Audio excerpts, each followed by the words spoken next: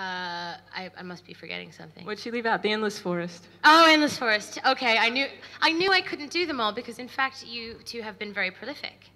We've been kind of crazy. Um, we uh, started way back in making video games anyway, 10 years ago. I'm going to try to find an image of the Endless Forest because I know I have one, a good one. Here's a whole bunch of slides of that um, that are worth seeing. Let's see. Oh, wait, no, not that. Not that one. It's this one. The, we started out by making the Endless Forest. That was our first game that we released. You can't see it. Um, but um, We the can endless describe it. Yeah, the Endless Forest is a multiplayer game where everybody plays a deer. Anyway, we wanted to when Michael and I decided we wanted to make video games. We're based here in Belgium, huh? so we're in Ghent, which is about half hour away from here. If you don't know Belgium. Um, and there was no such thing as an independent games scene at all here. It was all, this was in 2002 that we first decided to do this. And um, back then, you kind of had to make video games like in a very commercial way. So it was about us finding a publisher and putting discs in boxes and selling them in stores. And we couldn't do that, obviously. That was just really impossible. So I'll just tell a little bit of a, the story. Behind this, The Endless Forest happened because our first game was the game we couldn't make. Our first game um, was a game called Eight, um, where we didn't even know how to make video games, and we learned. Um, we taught ourselves, you know, on, with stuff from the internet by talking to other developers um, and asking them how they make video games, stuff like that. But then ultimately we needed money, and so what we did is we went to the Vlaams Audiovisueel Fonds, which is the Flemish Audiovisual Fund, which is the fund in Belgium which funds uh, film, basically film and television, media, stuff like that. And at that time, they were like, we were like, hey, will you, will you fund a game? And Right, they right. and they said no. They were like, no, it's against our mandate. Absolutely not. So, So, we, at that yeah. time, uh, would you say the understanding of the film and art world, their, their literacy with video games may have been low? It was non-existent. Non-existent. See, also, you have to understand it's a special situation here in Belgium. I mean, Belgium is not Holland. Right. Belgium is like 10 years behind on everything, like pretty much consistently, and you laugh, but you know it's true. You know it's true. So we're gonna have a candid, honest, open no, conversation. you know it's true. I mean, if you live here, you kind of know it's true. It's like so. It was sort of like we had to go there with our computers. We took everything down there, and we like explained to them exactly what we were doing making video games. That it wasn't just a commercial enterprise. That we had an interest in the cultural aspect of it, and that this would enrich the culture of the country. Before we move ahead, can we talk about the sort of unique way in which you and Michael, as creators, uh, came at video games? Because you didn't necessarily have the traditional, oh, I grew up on Mario and now I want to make a platformer background. You had been doing digital art. Yeah, yeah. Uh, well, okay, yeah. So that bears worth. That's worth saying too, because we were doing digital art, but we were doing it on the internet. So it was not about being in a country and needing funding or anything. It was just, you know, we were basically designers. We were web designers. Although I have a background in sculpture, and Michael has a background more in uh, in uh, graphic design. We were making digital art on the internet, and it was sort of a self-funding thing. I mean, I feel like people, a lot of people here might be young enough that they might not remember, you know, they might not know necessarily what the landscape of first creating art digitally, interactive art on the internet was during the time that the internet um, was still young. I was Yeah. I was quite young, and I think I'm older than than some people here. Um, in that, you know, some of my early explorations online was me discovering some of the interactive art communities that you may have belonged to decade before I would ever know yeah, you. Yeah, it was like from that's sort of what we did from a very young age. Can you describe what it was like? Just being on the well, what it was like. I mean, okay, so the internet of 1995. I mean, Yeah. yeah, well, it was really cool. what can I say? No, um, it was. Uh, it was sort of the, a formative thing because, um, speaking for myself, uh, I didn't really, I wasn't really even into computers until the internet. I, I mean, I shortly before that, I sort of rediscovered computers Yeah. um, and wanted to make things with them. But then the internet sort of inspired me even more to want to do things, to learn how to code, to um, communicate with people online all over the world, to learn how that worked, and then ultimately to, to make artwork with computers. So that's pretty much and to have clients. I mean, basically the internet was everything. Everything was internet. It was like you could work there, you could play there, you could, you know, make your artwork there, everything. And it was, and I guess it's sort of like now, only it was much, much smaller, more condensed, and more alive to a certain extent. Not to badmouth the internet. Well, now, I think what was- you mean by alive is that I feel like in those early days when there were, you know, the original internet pioneers and the original creatives trying to make use of this new and very private space, Mm-hmm. it was almost it was the way that we view design possibility space in general in that it was constrained there were certain limitations but there were certain desirabilities like connecting with others or like creating experiences that couldn't exist in any other medium so even though Yeah. beginning your work in net art is sort of you know it's different from games i think and actually you know if you look at it from with through the lens of history that a lot of that work was still the same in that you had a, a specific set of goals and were inventing something that kind of you know people didn't have a broad literacy with yet Yeah, I guess so, but we didn't care if a lot of people had a broad literacy with it at the time. Unlike with games where you're really trying to like reach a lot of people with what you're doing and you're trying to please them to a certain extent. Right. I would say that the early net was more about uh, the pure uh, experiment, the pure uh, being a pioneer of something, because it was something that didn't exist at all yeah and then it suddenly did and then what do you do with it Right. and so it was all about that and in a way that's what drew me to the indie scene and games Right. was that it felt similar um, or feels similar even now i can still see some aspects of that even though it's more matured. It's, there's definitely been a lot that's changed since 2002 with what's going on in games. There's still that sense Um, of pioneership. there's still that sense of pioneership, and I think that's something that everyone who comes to an event like this uh, definitely can feel, or everybody who goes to any of these things and meets other people who are passionate about what they're doing, you can still sort of feel that um, underneath it all, you know? i agree. And, um, and I think I've just have, I'm addicted to being in that situation, being between things, you know, it's like, uh, and between art and um, science or whatever you want to call it, and uh, yeah. so t- the you originally had a concept for a game called eight Yeah. what's the significance of the number eight is it personal or can we share it Um, no, no, no. It's not personal at all. It was uh, a game. Eight was a game about uh, Sleeping Beauty. It was based on the fairy tale of Sleeping Beauty. Yeah.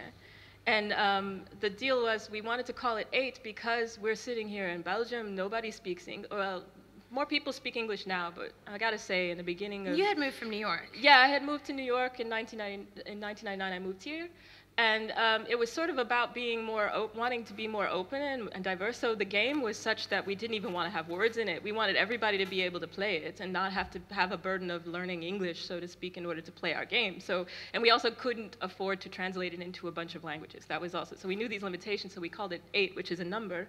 And then it's just that is the name of it is whatever it was in your language. And Right. So and then the game itself had no had no words in it at all. It was all atmosphere. It was all about uh, a world that you walked around in. I mean, now it sounds like yeah, okay, you know, a world you walk around in and you discover things. But at the time, this was really really odd, and that's why we couldn't find.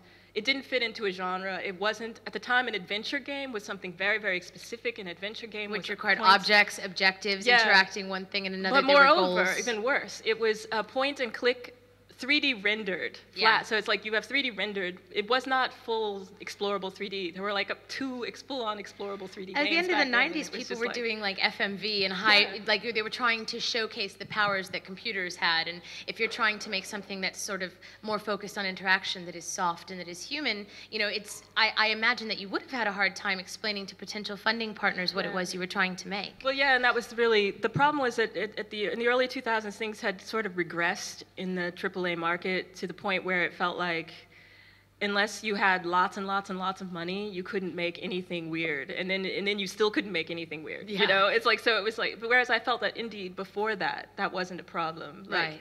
There were lots of things like CD-ROMs that were had very strange themes and um, you, that that were more about interaction. I played you know, so that- many than- than- strange projects like that myself Yeah. on hypercard stacks, on, Yeah, on shareware exactly, discs, and they were just the work of artists halfway across the world without necessarily an objective, just with strength, you know, mysterious interactions and and uh, you know unstated goals. And you, I always. One of the reasons that I always that I became attracted to your work as soon as I you know found out about it was that that was something I enjoyed about games when I was a teenager was this discovery space and the feeling that I was in a dialogue with someone that I'd never meet. And I think that's part of the language of the early internet, this idea that, you know, you can use these interactive objects not to achieve a goal or to create a win condition, but to meet somebody. Yeah, That was that was like this. The absolute goal of the internet in the beginning was just to meet other people who were also doing the same thing. And so, you, how did you meet them? You met them through your work. Yeah. You know. And, in, and again, this is sort of a parallel with what I feel about the indie game scene in, right now, um, such as it is. And I, I, feel weird even using that phrase, indie game scene. It's more like there's scenes. Yeah. You know, it's there's a multiplicity of things going on right now incredibly that are incredibly space. interesting. Um, well, some more interesting than others, but I think that the fact that it's always a moving target is um, what's cool about it right now. So, uh, so eight was maybe a bit ambitious and hard to explain to people. So that brought you to yeah, this that concept for the end, endless forest. The endless forest, which was something that we didn't even need at first funding to make. We just made the first version of it pretty much on our own. And then what we did was we um, we went back and we asked for funding again from VAF, and they gave us a little bit. And then we exhibited it in uh, um, festivals here in, in Flanders, like um, the Artefact Festival, which happens in Leuven. Um, and so they had a small budget, so they gave us some money, and then we added to the game. So it was sort of like that. So the things that are in the game now are almost sort of a, a collage of the different opportunities that we had over time to make to add something to this game and to exhibit it. Um, um, Were there other games like this on the festival circuit when you started making it? Um, no, but was there a festival circuit? There was indeed, but it was very different. Um, and I was pointing this out to somebody else that um, for a while there was no distinction um, between. There were there's a lot of festivals in Europe. There's like you know Ars Electronica and, and that other one that's in Germany. Uh, uh, Transmediale is what I'm thinking of, and, and various other opportunities that happened. But and a lot of artists were working with video games actually. But what they were doing was they were modding Quake or something, yeah. or they were making a Half-Life mod, or they were a Counter Strike mod. That was like a really big one. Velvet Strike, designs. subverting the games, and and those were actually what people knew about art artists working with games. Huh. And and that was something that we actually were against because we were because we were sort of like well, if you're gonna make art with games, let's like get in the code. Let's make make it ourselves, you know, instead of just modding something, which doesn't negate the value of those mods because it's, it's just your of, heritage that you had been accustomed yeah. to invention rather than modification. Yeah, yeah. It's, most of what you saw was intervention, um, and so we were inspired to make games in that way as well, sort of a, a being like, well, why as an artist do you have to mod an existing commercial product? Why, why as an artist you? am I not a deer? Why is not a deer? Yeah, well, the deer. That's a whole story. Yeah, so talk, talk about, can you take us to the conception of this game? Yeah, um, we were on a train and we were driving through Germany. Was it Germany? The the dark forest, the black forest or something? Oh, the Ardennes. Okay, we're not so poetic as the black forest. But through the Ardennes, and um, we looked around and we sort of said half jokingly, wouldn't it be funny to make a game that took place in a forest? And we were like, ha ha ha, yeah. And everybody plays a deer, ha ha ha, and the deer are all asleep, you know. and then and then it sort of grew from that, honestly, because we thought we thought it was beautiful in the first conception of it, because we first conceived it as a as a screensaver, where yeah, okay. So it's like your computer goes to sleep, and then the game starts up as a screensaver, and then everyone wakes up as a deer in the forest, and it's like a dream or something. I remember a lot of um, so. interactive animal-oriented experiences at the end of the 90s in the yeah. digital art space online. So I can, I sort of knowing that heritage of yours can sort of see where that idea might have come from. Yeah. Um, that the more we could do with graphics, the more people were creating these beautiful and inhabited animated spaces that had living things in it, yeah. and the more we were able to sort of you know, we were all really excited about this technology, and toward the end of the 90s, I think we were starting to conceive of what, what if we could create real space within these worlds? Yeah, and I think that the internet also gave us that feeling. Um, it, it's hard to describe, and I'll try to, because uh, the internet actually felt like um, you were someplace else. And so when I started playing video games, a lot of the first games that Michael and I were playing regularly were things like black and white, right? The first black and white. Yeah. And and it, if you've ever played that game, I suggest you all do because it's really cool. But it's like you can lose like days in this game because it's really long, but also because the world is so. Um, atmospheric and immersive and you really feel like you are the ha- it's a god game so it's like it's a god game and you have an animal that's with you that you're sort of raising up and and there's always this feeling of camar- camaraderie with this animal, which is run by an AI. So we were super interested in AI in the beginning, and, th- and that showed also in our first design for eight. Yeah. Um, and but the, also that atmosphere that we felt in games like that. Um, where we felt like, wow, it's a whole world that's living around you, and it reminded me of being on the internet, and there's this whole world, and it's it's a hard parallel to draw now, but it, because now the internet doesn't really feel like a place because there's all these real people there. Yeah, but back in the thing you day, do now. back in the day, you knew nobody's name, you only knew their handle, you knew where their website, their web address, or whatever. Do you remember any of your favorite old internet handles that you'd be willing to share? Because I, I, I have some, yeah. Mine? Yeah. Oh, I was always. I only ever had one, and that was Woman on Fire. Yeah. But that was that's my only. That's still your internet Skype. ID. That's still my Skype ID. yeah, and um. Well, then- mine was Chibi Girl 1. it. It was all it was all Sailor Moon references and things like that. So, but Yeah, I, I I never remember. told anyone my real name, and uh, if I did, I told them it was like Neharinia or something. Yeah, yeah. You never really had a real reason to tell anyone your name. I mean, so or or to be your real self even. Yeah. So it was a lot more of like. Um, Do you think a game like about vital space, like The Endless Forest, is sort of addresses that fundamental loneliness in a poetic way? Maybe I'm being too game criticky about it. I think it does because a lot of people who play it, um, who play the Endless Forest, who want to be a deer in a forest where you're casting magic on each other. I love um, that. are, um, are Who wants to be a deer and cast magic? Everybody. Thank you.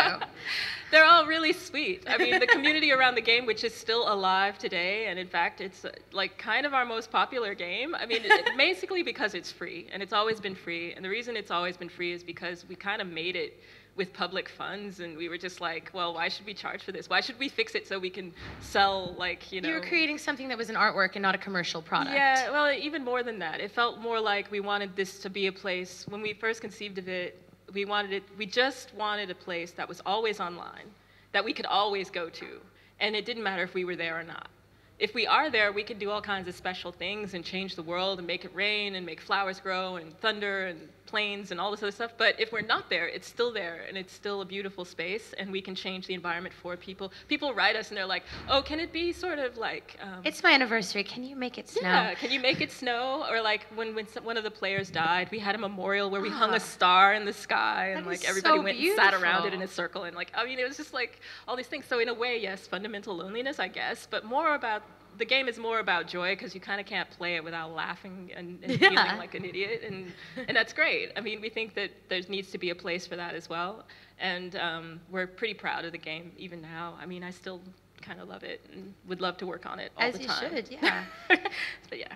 But so after this, uh, you created something that you felt proud of and that you felt good about and that people responded Yeah. to and that you were able to get public funds for. Well, Pretty good first that, game. We were able to prove that what we were doing was something that people wanted to play with, Yeah. which was um, a big challenge um, because the problem with eight was that everybody was like, well, I don't know how to market that. Yeah. You know, I don't know how to market that. I don't know how to tell people about that. And we kept telling them how they could tell people about that, but it was like not up to us. I think but you were a bit case, ahead of your time in terms of your goals in your language. I think back Yeah. then, um, games as a product were very much tied to the hardware market, and Yeah. generally publishers wanted to know how will your game showcase the hardware. You know, how will your game sell units? Yeah, it was also a problem with with the fact that okay, and this takes us to sort of the next step of this whole thing, where the internet comes in again. To me, independent games are sort of the art form that's born on the internet, Mm. um, because without the internet, we wouldn't have had all this whole indie revolution or whatever you want to call it. um, Yeah. because I wouldn't be people had to learn to use their credit cards online. I remember in 2002, to ask someone to pay for something online with their credit card was like, oh, you're going to steal my number. Dancing with the devil. gonna-" yeah, exactly. It I mean, just- you didn't even meet people online back then, really. Yeah, it just wasn't even. Yeah, internet. Oh, you mean that place where they have porn? You Yeah. know, that was the internet to a lot of people still. It in still is to some people. really? well, I mean, Okay, it's only within yeah. the last five years it's become acceptable Except to like Facebook? find a partner online or to, Oh, yeah. you know, like it's, it's recently exploded. But I think we can easily underestimate just how different things were as recently as 12 years ago. Yeah, that's definitely true. Um, so the fact that people learn to love each other online. I mean, I met my husband online. Um, that's where we met in, in 1999. Was on a server called Hell. But at any rate, um, this the idea that people would actually buy things online. Not only that, buy data, not buy something physical. Um, we needed all that to happen before games could sort of open up and become um, a place where you know you or you or anyone can actually make something, find people who want to play it, and um, and actually like let them have it and get, find out what they think about it and all that sort of stuff. Get it So- made now. Developing in public made. is the norm. Getting funding in public is the norm, and Yeah. the creator is engaged in a one-to-one relationship with the player base from the time that they conceive of an idea, if they'd like it to be the Yeah, case. that's pretty much it. Yeah. So after the Endless Forest, what came next for you? What did we do after that? I'm trying to remember. Yeah, we got seven games, so it all got kind of complicated at a certain point. I mean, and, and every time it's, um, oh, I guess we made the graveyard. We started working on the path first, probably, but then we decided to make the graveyard um, This is an interim project. as an interim project. This is going to play, and I, I don't think I have the sound on, so that's good. Um, there. Um, those of you who don't know the graveyard, it's just it's a game where you play a little old lady who visits a cemetery, and um, you just walk through the it's you walk through the cemetery, you sit on a bench, a song plays, and you she may or may not die.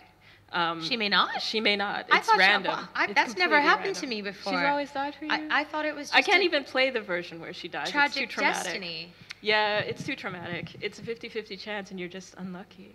But so, what year was this just about? This was 2008, I guess. So this was when most of us were playing really strong running men on our consoles, not little walking um, elderly women. But this was an experiment because this was actually the first game we really we, we sold at all, and, in, in even selling it was sort of like, well, you know, it, we didn't expect anyone to really buy it or anything, and we ended up like sort of making a bit of a tempest in a teapot type com- controversy controversy with it. But you were which making a statement with this game, I think. Yeah, and it led to various like you know parody games, like the one made by Vlambeer. Uh, What did they make? they made a game called The Gutter, or JW did. Made a game called The Gutter or something. No, tell like me. You play a drunk who is stumbling down the street, and I forget what happens. He gets hit by a car Is or that something. a parody or a tribute? No, I, I never figured out because the cool thing was he emailed it to us and with, a, with sort of a funny email, and we just sort of laughed like really hard, played it, and like it was cool. Anyway, yeah. So we, But, but we were flattered in a funny way. were you trying with Yeah. this experiment to make some sort of provocation about the nature of traditional games? Because I think a lot of people Of attributed prov- provocation to you at the time. And I think that was the deal. Was like we were trying to be provocative, but that was because we were frustrated as hell. Like because it was, it seemed like everything was always the same, and we were sort of sick of everything being the same.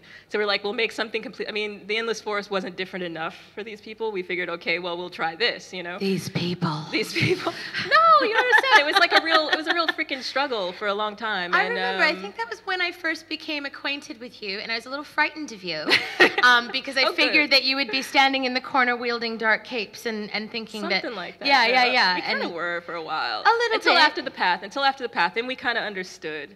Well, Um, what was it that you? I mean, I I think it was amazing that you were sort of abrading the grain of popular culture in that way, even if people couldn't fully embrace or appreciate what you were trying to say necessarily at that time.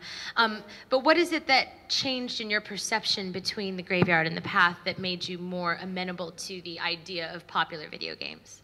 Well, let's see. Let me back that up a bit. It's like we liked a lot of popular video games. I mean, we started wanting to make video games because we were playing Devil May Cry and oh, I Silent love Hill Devil May Cry and Silent Hill. Fatal Frame and Ico and I don't even know what else. Um, we were playing all these games that we thought were fabulous, actually. And but the problem was that we only liked certain aspects of it, or rather, we felt that they fell apart at certain parts. Like you know, if I talk about a game like uh, like Silent Hill or whatever, which it's hard for me to say anything bad about actually because I loved that game so much. Silent Hill one and two and three. I think as complete works. Four is where I broke up with them. But it's, it's just that it was something like, or any, you could take any game at the time. There were so many beautiful ideas and so many people with so many like interesting interaction design or um, aesthetics or whatever. But then it sort of fell short um, when it came to mechanics, sort of being okay, we, we just had all these questions like, why is it always an RPG? Why is an RPG always like this thing with the random spawn battle? And the, you could sort of map out all these things that were always the same. Yeah. And we just wanted to call that into question big time because we were kind of sick of it. Like, um, not only as players, even. I mean, just sort of like, well, okay, so this is a platform game. Okay, so we know it's going to have this and it's going to have that and it's going to do that, you know, and it was just sort of boring. Yeah. And I think it also happens that um, we thought that there wasn't enough diversity in the types of characters you could play, in the types of worlds you could explore, the sorts of stories that were available, and we thought we saw an opportunity. So it's not like we were against things. It was more that we saw lots of opportunity in there, lots of unexplored territory in there, and we wanted. We're wondering why not more more companies. At the time, we were thinking of companies. In 2008, you had a very strong indie scene, so we were more encouraging. I mean, it didn't seem like it at the time. We seemed very combative, I imagine, in 2008, Well, I, 2009. I definitely re- I read your frustration at, at, at a failure to take advantage of opportunity. Um, I think people may have misread it as a condemnation of what existed versus a it desire for was in a way a condemnation because otherwise. I'm trying to stand up for no i know no it's cool it's cool it's cool but i just wanted to say that the reason why we didn't mind that so much at the time was that um, otherwise no one would listen to you Yeah. Well, it's, it's still the case like- that you have to say something sort of outrageous and confrontational to get attention, especially now on Twitter. yeah it was i feel like it was worse before So you were starting Twitter fights before there was Twitter. Before there was Twitter, we had a blog. You know, that's what you do with blogs, right? So- no, it was, and, but, but, but more than that, we found support. We found supporters, or we found like-minded people, people who also were trying to think of other things, people who were trying to make all kinds of games. I mean, and it was and it was interesting to be a part of uh, supporting their thoughts Yeah. um, and their ambitions. In 2008, for the first time, you're able to connect with other people that look like indie developers to you. Yeah, yeah, that was pretty much it. And and so uh, I'd say that it wasn't until after the path though that we really felt like that things changed for us and for everyone, I suppose. Before we move ahead, I also Yeah. want to talk about the path a bunch because, um, you know, the games that you mentioned, Silent Hill, Fatal Frame, Devil May Cry, um, I think all those games have something in common with your games, which is a really strong sense of atmosphere. They're very evocative in terms of place, um, sound design, and things like that. When I, whenever I enter a world that, that you two have made, I feel that really strong sense of, of sentiment in the atmosphere, which I think, um, you know, you share in common with those, you know, AAA games that you said that you liked.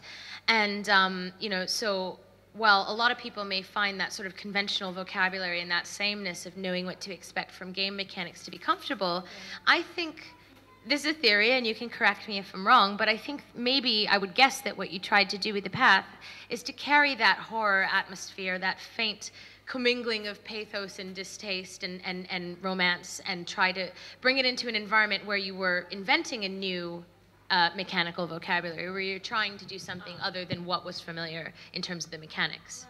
See, all this is complicated by the fact that that a lot of what we were trying to do, yeah, was to just do what we wanted to do, and that felt like Fair a enough. struggle often. Like Let go to interact. Yeah, let go to interact. I can Crossed out pictures of the Yeah, controls. yeah. Um, this is another bad slide, but I can bring it up to the let go to interact part, where it was like we were just like always wondering why like the aesthetics of interaction weren't brought in more. Um, Well, for people the- who aren't familiar with the game at all, in case they're not, do you want to talk about the central premise and then talk about how you tried to build the interaction with There was like a couple of really uh, um, sort of pseudo controversial things we were doing with the path, um, several. Um, one of which was it was a game that's, that had nothing but female protagonists, and there were six of them. So it's like six teenage girls, uh, girls ran- ranging in age from 9 to 19, and that was number one. Like, what the hell? And then mm-hmm. number two was that it's based on a fairy tale, Little Red Riding Hood, but at the same time, it's not doing the typical sort of BS thing where you, you give Red Riding Hood an, a, an axe and she chases after the wolf or something Shocked and stupid screwed like that. fairy tales. Yeah, dark fairy. McGee. But at the same time, we always knew that this game was going to be a horror story because it is a horror story. I mean, it's a fairy t- that it, that is what it is at its root. And so, but at the same time, what we were trying to do was tell us a, um, a story about femaleness, if you want to call it that.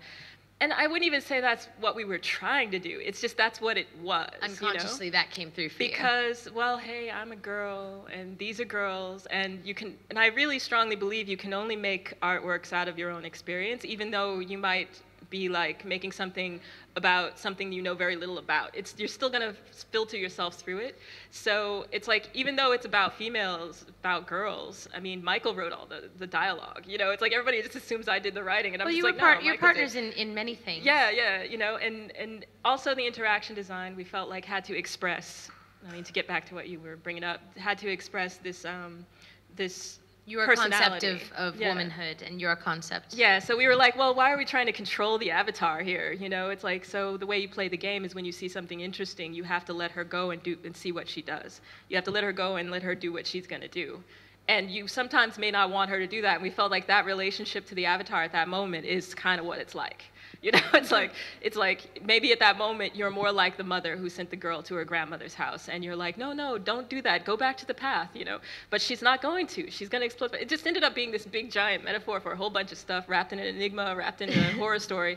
And then also the way that the girls um, meet their wolves and all this stuff was very kind of violent and shocking to a lot of people at the time. We Each girl a lot has a narrative arc on her way to the grandmother's house and Yeah. has a different fate befall her, Yeah, ideally. And we took tons and tons and tons and boatloads of heat for that, um, for the ways that the stories end. Even though now you kind of look at it and you're like, why was everybody getting so excited? No, about I don't. I actually I don't remember this. Um, Yeah, you don't have to dwell on it too much. No. But but to, what sort of controversy did it have? Oh well, it was just that I think a lot of people um, thought that um, didn't understand what we were trying to say, Yeah. and we, the point of that is that we weren't trying to say anything. So people had their various interpretations. Which they of- then projected which onto they then projected onto us and the game, and we're warning people like, "Oh my God, this game! Don't let your daughters play this game. You know, it's subversive. It's made by a bunch of sexists. It's made by, you know, it's like even though it's for a woman team. Does that happen game, in other, you know, given that you've worked in other art that is obviously always going to be subjective and open to interpretation? Yeah. Had that happened to you before where something you created was received by someone in a way that was their interpretation that they then blamed you for? Is that only a thing that happens in games? well, I think it happens in other medium, in other ways. You know, I think that happens all the time in the arts, absolutely, and that's the point. However, in games, you're dealing. We were dealing with an audience in 2009. How can I put it delicately? That t- kind of wasn't used to be having that opportunity. I'll Yeah. put it positively. Yeah. Wasn't used to having that opportunity for interpretation, and was used to being told what to do all the time. Yeah, and there was And so since we weren't telling them what to do, they suddenly their imagination's running wild and and then they suddenly think that we were telling them something that we weren't saying at all. Right. So yeah, that's the only way I can think of explaining that. I feel like yeah, gamers even now are not used to coping without clear objectives. Yeah. Um, and you know, I don't know if that's necessarily a bad thing. I think a lot of the reasons people play is because they want to know what they're supposed to do because it's a space where they can receive and follow instructions. it's the magic circle. Yeah, something like that. Yeah. Um, so, so you had some challenging reception for this, but you also had some immensely positive fan reception with people doing yeah. art and cosplay, and and and people really uh, this world that you made with with all of these young women and their interestingly subtly gothic outfits and Oh, things yeah. like that resonated subtly deeply. and not so subtly. Yeah. but yeah, no, it did resonate, resonate deeply with a lot of people, and we had I had to concentrate on the the sort of positive bits of it, and and not let the negative get me down too well too much, which was hard. Um, and um, but I think that a lot of creators have to deal with that, like.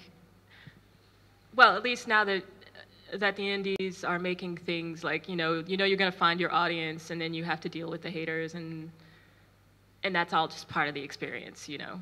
And and so I had to learn that. It- I, I paid my dues. It's an interesting all I gotta lesson for someone who's always done art online, um, but never maybe in this exposed a way and never in this direct communication with everyone who Yeah, experiences well, it. the funny part is we did like all the stuff we made online. It's just that the game scene was very, very different. Is Yeah. all I got to say than than any other form of ma- art making that I had ever experienced. And so it took a little getting used to. Um, and I didn't. I don't even. We, we, we, we steadfastly said that we weren't artists for the longest time because we were just like not not with games, but when we were just making stuff with computers because we felt like it's not about this art thing. Like what is that? That's the stuff you see in galleries. It's boring. This white box, black box stuff. This is stuff that's on your computer. Everyone can download this. Everyone can play it.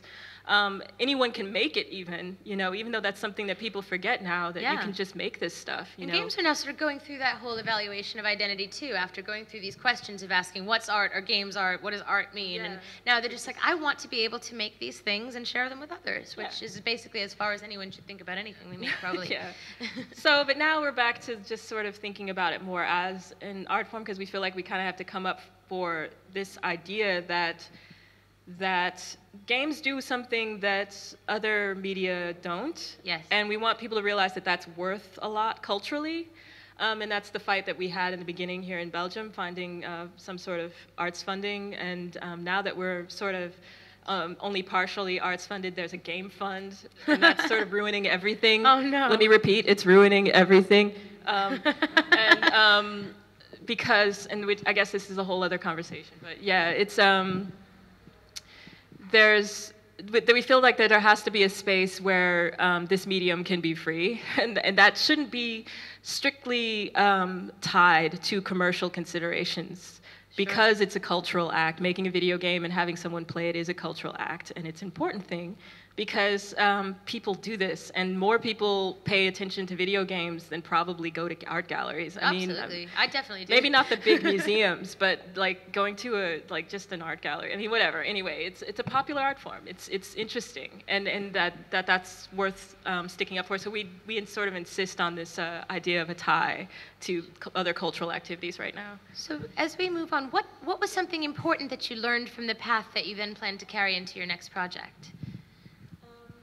I'd say the idea of the way that we learned to collaborate with people on the path was something that we definitely carried over into what was the next game, Fatale. Um, Fatale.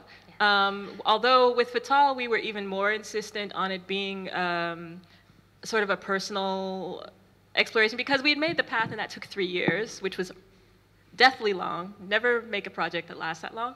Um, and um, we sort of felt like if we didn't make something else soon, we were going to die. So we, we just immediately launched into Fatale. But we were like, we You're felt going to die commercially or emotionally? emotionally, like well, emotionally and like and just after you finish a big project. I don't know if how many of you have made like a big game, but like you feel have this feeling of emptiness afterwards that you feel like. Um, oh, I just spent like 16 hours a day every day for the past three years working on this, and now what do I do with myself? And so it felt like we need to make something else and make it quick, or else. Um, so we, we spent like four months or whatever on Fatale. I don't even know if this video works, but I'll try it. Um, um, but, and to us, it was kind of an important project, but to everyone else, they couldn't they couldn't care less, um, which is unfortunate because I was it that they didn't care or that it was hard for them to parse? I think it was hard to parse, and um, we didn't know it would be hard to parse. And I mean, there's a, mistakes were made. We're happy with that, though. I Well, mean, I, I do maybe uh, let me present a theoretical that you know the things that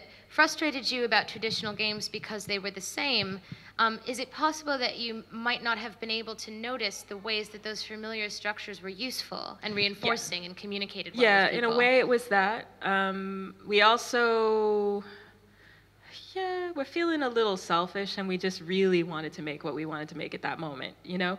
But yeah, the communication. I think that you're right, and we learned to value that a lot more after Fatale. Um, and going forward, even though we still made games that were hard to parse, we kind of knew what we were doing more. I mean, I think with with the path, there's a lot of things in it that are sort of commenting still on existing game structures. Like there's Sure. in in, in the path, there's 144 flowers scattered throughout the forest, and you can find them all. But if you did it, do that, then nothing happens. It's like, well, you just gathered 144 flowers. Do you feel for good about having attained yeah, that number? yeah, and it was sort of a comment about like things like Grand Theft Auto, where there's like hidden packages everywhere, you know. And I always found and- the hidden packages. Yeah. I feel really ashamed of myself. So it's like things like that that we just put in because we thought it was kind of funny or we thought it was kind of, I don't know, interesting or whatever for certain thought people who would get exercises it. that you were implementing. Yeah, and so I think Fatale, we just took the thought exercises that one step further and, um, and lost to everybody. But, but, but you and Michael were used to creating within a language that was primarily understood by the two of you. yeah, kind of. I wouldn't, yeah. As, as I mean, as- yes. as creators, you're, you're very close as a pair, and Yeah. it can be hard. I mean, and I think that's a lesson that can apply to any game developer. That if you work closely with the same group of people, and if you work within your local scene or with, with your close friend, you may over time fail to notice the way that your inside language may not easily be conveyed to other people. Yeah. Um, and you. That, that may not it may not be necessary that other people understand what you're trying to do. Um, in, in your case, you made the game that you wanted to make, and it, it didn't bother you so much No. that, that people weren't able to sort of join you in the Fatale experience uh, to the extent that you Yeah, yeah. thought that they might. But you know, it's it, I think anybody, no matter where they're coming from with their approach to games, can can sort of benefit occasionally from the, from from looking outside the ways that they're used to thinking and speaking. Um, and so you began to do that from this project onward. Yeah, I think that um, Fatale tied more into um, sort of secret thoughts that we had um, about like art and its connection to video games. But then we went and we made Vanitas after that, I think, and then Um, after Vanitas came Bientôt l'été. Vanitas was, was mobile, Vanitas right? Was, Vanitas was a mobile game, but it was sort of a commission, and um, and it's a small game. You can download it to your phone. It's and, Android also, um, and iPhone, and um, but it was it was kind of fun. Um, you used you used the mobile and the touch medium to explore object relationships and, Yeah. and preciousness of things. and it sort of defined like how we like to work with um, touch touchscreen devices, which carried over into Luxuria Superbia, which is over there. Um, I, I would argue Luxuria and- Superbia is your first gamey game. Yeah, yeah, no, but that's that's that's, that's on purpose. We could actually talk about that a little bit before We'll get we we'll run get to that, but I don't want to skip you until I'm. I'm afraid we're gonna run out of time. oh, how, how much time do we have? Um, and uh, yeah, I would rather like if people had questions or something, Sure, talk to sure. them about that. But um, Bientôt l'été was after that, which is um, a game in French for two. the Being French um, Simulator. The Being French Simulator or whatever. Um, a lot of smoking, sighing, sipping wine, and romantic but, but, phrasing. but, but no, it's about romance more than anything else. I mean, it's about uh, the romance of meeting someone, and, and in a way, it was a parallel to how we met in a virtual space. So it's like a, a, a game that takes place in a in a space in space in a simulator. Uh, of beach, and then you find things on the beach, and then you go and play a mysterious game of chess in a cafe, exchanging words that you had found on the beach, which is sort of like thoughts and Actually, I really, really liked this. Um, I, Oh, cool. This might be my favorite of yours. I'm not sure because Whoa, um, really? not only did I enjoy the atmosphere, um, I'm, I'm a big seaside person, but um, it had a multiplayer component where, whereby if you entered the house to play chess with the ghost at the other side of the table, it could be inhabited by a real person.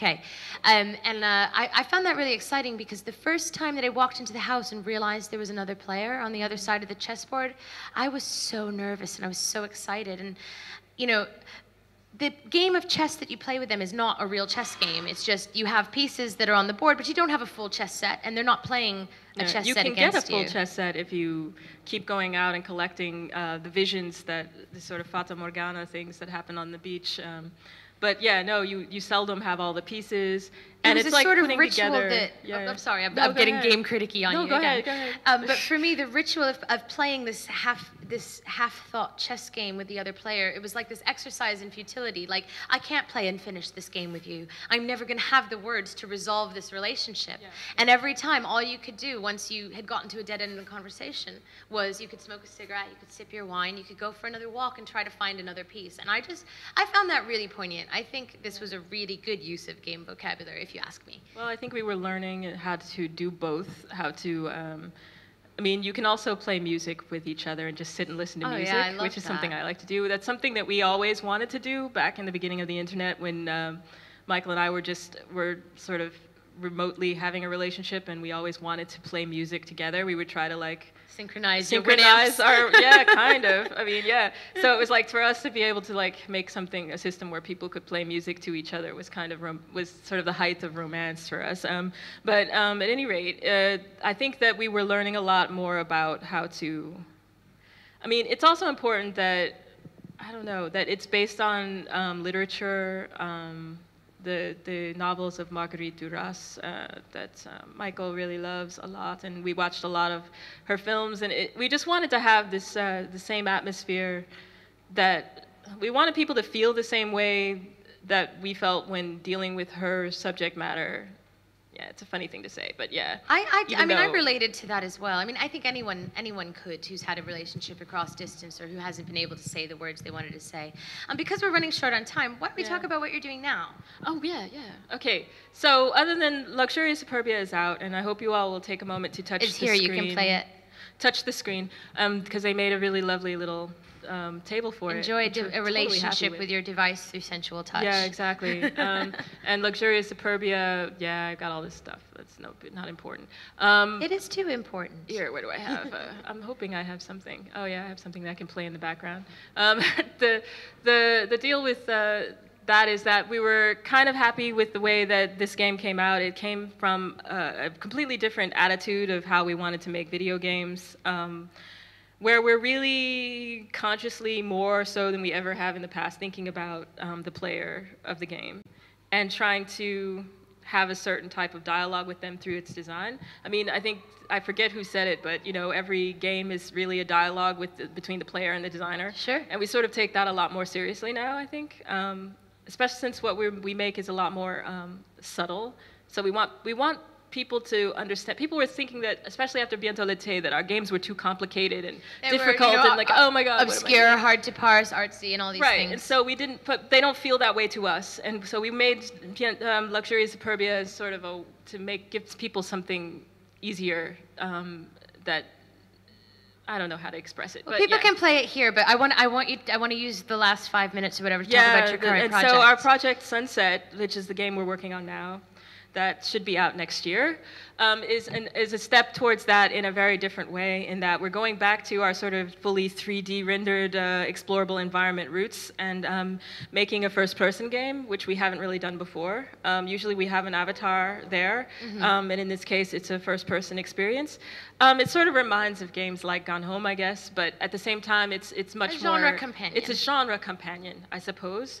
Um, although it's in our way, we have a way of sort of doing that, those sorts of things um, wrong. um, so, so it'll be different. Um, and also, it's a story that unfolds as you play it. So it's like you have an effect on the game as you're playing it. And basically, to go over it really quickly, um, you play a cleaner in an apartment, in a penthouse apartment in South America in 1972. Very specific. and you've modeled the apartment on a real sort of luxury Yeah. bachelor pad The- from Playboy. Yeah, Isn't we found cool? A luxury bachelor pad in Playboy magazine, a 1970s Playboy magazine, and that is where you are. And that is the owner is a man named Gabriel Ortega, who uh, you suspect is a complete and total snob jerk. But You may um, be part of the conservative mil- militia yeah, force, which, and you may be a member of the, the resistance. The importance of this taking place in the 70s is that that was a very tumultuous time, and we can't be completely unserious because that's just how we are. So we're sort of dealing with a backdrop of a lot of um, military coup. Um, Thing, an environment where there's a lot of uh, Class governmental war. class war and governmental upheaval, and um, but at the same time you are not a, you feel like you're not a part of that at least at first. Um, you feel like okay, I'm in this country. You've, you're an immigrant in this country, um, and you uh, feel like this has nothing to do with you. Um, but as would you, would you say that Yeah. you are discovering your relationship to this conflict and to the owner of the home as the conflict escalates around you? Absolutely. As the as the as you come to know the person who lives in this apartment, as you um, discover the the sort of the intricacies of the um, the military coup that has happened, and the fact that your brother is somehow involved because he was there before you were even, and like and you're just trying to figure out how to deal with all this stuff. You're the the the experience that's got the things that are happening out in the outside world sort of bleed into your personal relationships. And then suddenly you sort of find that you the things that you are doing may be influencing even the the outcome of, of the of the the military conflict, but not in any direct way. It's well, really it's like you can express your relationship to this man and your relationship to this environment by your actions in the home that you're tasked with cleaning. Yeah, yeah, basically, and and it's sort of like you have. Sorry, I'm really excited about it. yeah, you had. I'm really bad at talking about it. You have a relationship with this guy, and and and in you know friendship, you can sort of choose the direction that the relationship takes. Actually, um, this is what I meant by your actions sort of um, influence the story, and. Um, in a way, you're trying to make him see that there's another way to things. He's a, a man who is deeply involved with the cultural life of this town that he lived in. But after the military coup, he discovers everything has gone wrong, and he doesn't know what to do about it either. And so it's like you're, in a way, your relationship with him, as it escalates, um, you, is sort of evidenced by the escalation of the conflict or not. But on a day-to-day happens. basis, you're living the life of this small component in a greater conflict. This Exactly. person who's not a combatant, and uh, you're you're living out each day in this space that isn't yours. And Yeah. I, um, based on what I've, I, I know of the work so far, I think there's a really oppor- interesting opportunity for intimacy and atmosphere there, which is really what, what you excel we at. We definitely hope so. I mean, we, we basically wanted to play to our strengths. I mean, like I said, starting with Bientôt l'été, we learned a lot more about um, how to get things across to people through the mechanics of the game in a way that isn't as alienating. I mean, I think that really came forward in Luxuria Superbia, Yes. which was a totally non-alienating game. Um, and so we're really a little hoping that the next one, it's It's a a little, little saucy. saucy. Some people get embarrassed, but you know. Um, so I always feel weird when was- people are watching me play it. I Like I'm don't really intimately involved in it, and I'm, I take pride in how good I am at Luxuria Superbia. and then I notice there's like a, a lot of people hanging over my shoulder watching, and I feel a little feel a little uncomfortable sometimes. Yeah, well, we think with Sunset it won't be quite that. It's much more of an intimate experience, I think, because of the first person view. Mm-hmm. And also, um, I think that because you're influencing the story, you kind of feel a lot more investment in what's going to happen Yeah. in this conflict. And we're hoping that that will be tense and exciting for people. And that's something we think we can do well. And I'll say it I that way. suspect you'll be able to craft some very interesting narrative beats for the player in the moment to moment behaviors narrative that they beats. undertake in this constrained and compelling space. Oh my God. Maybe you should write the blurb for us. Maybe I should. I think you will. No, okay. No, okay. Um, yeah. Anyway, maybe we should ask if see if anyone has any questions or comments or Yeah, we, whatever. we may be abutting the limits of our time, Yeah, but um, but and we also don't want to keep talking because until we get shouted off if there are any questions. Yeah. Or Oh, I, I think I, I'm being signaled that we're finished. Okay. and he also has food. I kind of want food. Thank you. Yeah. Thanks. Thank you, Auriea. Thank you. Always a pleasure talking Yeah. to you. Thanks, Leigh.